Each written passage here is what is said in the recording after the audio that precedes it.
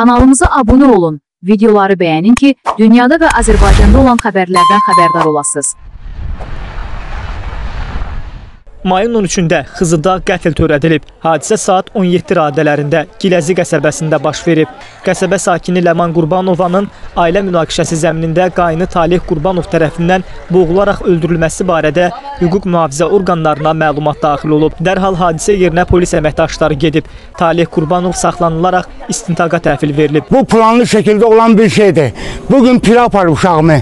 Dünən gəlib evimə bir ay, iki ay bundan uşağımın başını kəsirdi qeyni.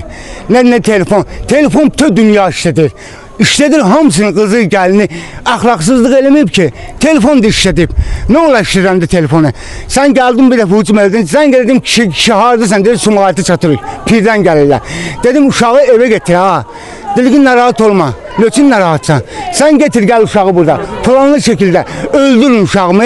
Məlumata görə Ləman Qurbanova Vətən müharibəsi veteranı, Cəbrayılın azad olunmasına görə, Xocavəndin azad olunmasına görə və Laçının azad olunmasına görə medalları ilə təltif edilmiş. 2022-ci il sentyabrın 12-sində Ermənistanın törətdiyi təxribat nəticəsində şəhid olan Salih Qurbanovun həyat yoldaşı olub.